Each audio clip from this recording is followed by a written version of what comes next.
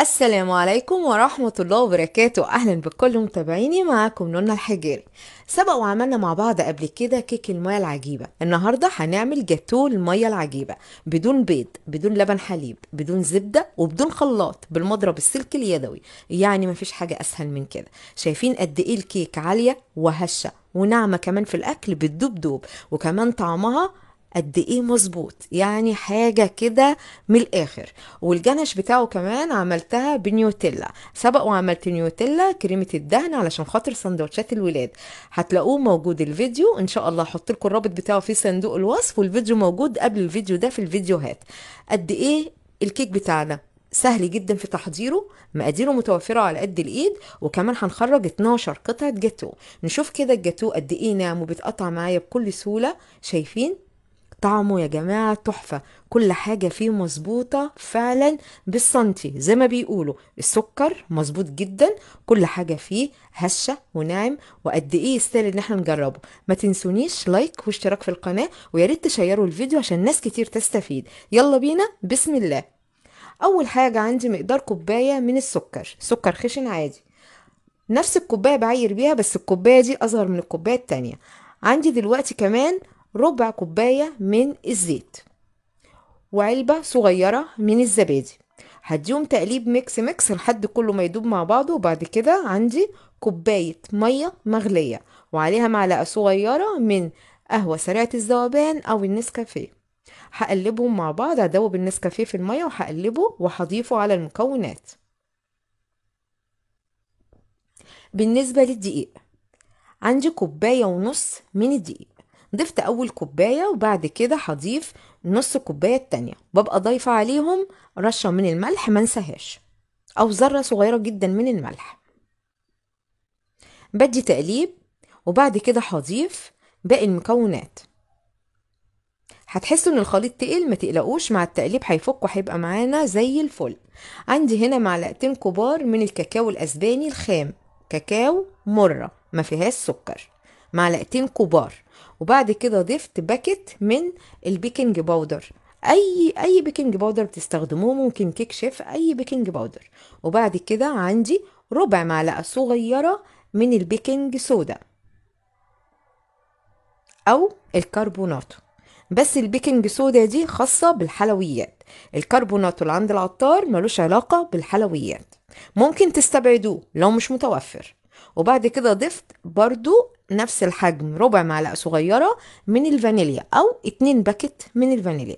و mix تقليب تقليب تقليب لحد الخليط ما يحل معانا ويبقى القوام بتاعه مظبوط.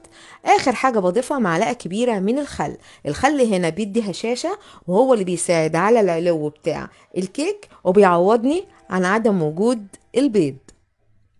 تقليب تقليب وآدي شكل الخليط. فك معانا وبقى تمام. هو ده السمك. عندي القالب بتاعي محضراه همسحه مسحة من السمن وهعفره تعفيرة من الدقيق.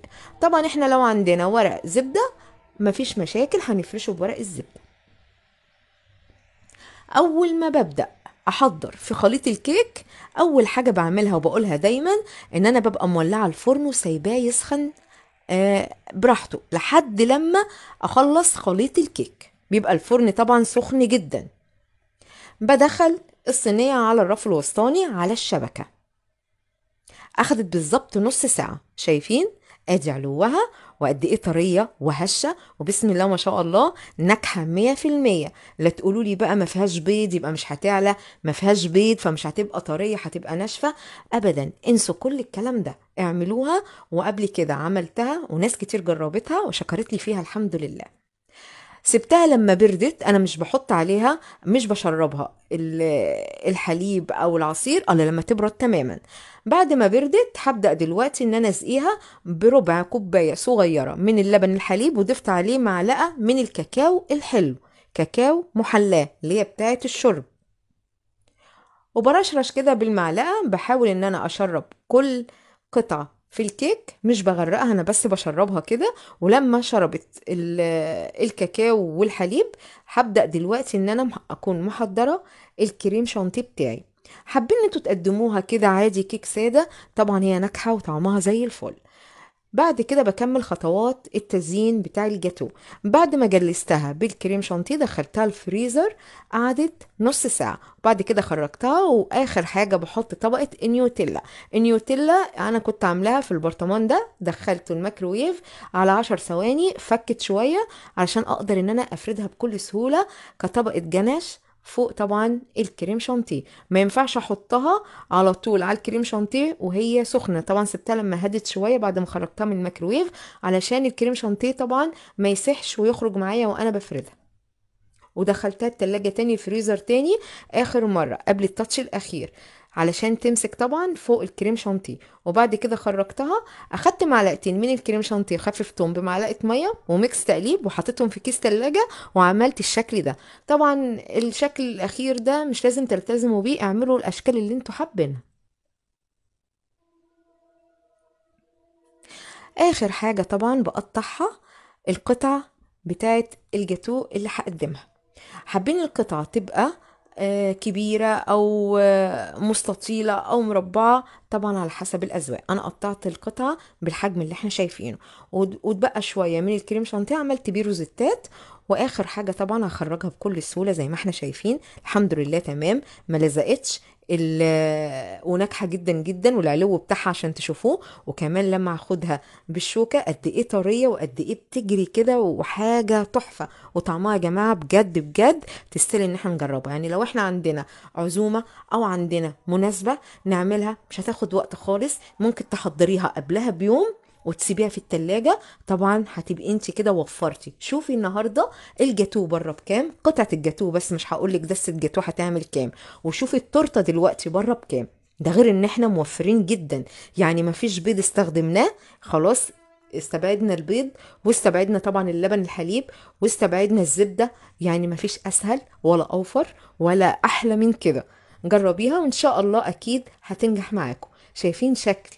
القطع وهي بتتقطع إزاي بكل سهولة؟ ده غير طعمها الرائع والسكر بتاعها مظبوط يعني ما تقلقوش مفيش أي سكر عالي. وبالنسبة للكريم شانتيه أنا كنت عملته قبل كده برضو موجود عندي. هحط لكم الرابط بتاعه في صندوق الوصف وشوفوا الفيديو وادخلوا شوفوا فيديو كمان. النوتيلا النوتيلا سهلة جدا جدا وموفرة جدا ما فيهاش أي حاجة فعلا هتبقى مكلفة علينا. إن شاء الله الفيديو يكون نال إعجاب الجميع. كانت معكم نونا الحجيري صحتين وهنا على قلوبكم يا رب. وما تنسونيش لايك واشتراك في القناة لأول مرة يشرفني. ويا ريت يا جماعة تشيروا الفيديو علشان ناس كتير تستفيد. والسلام عليكم ورحمة الله وبركاته.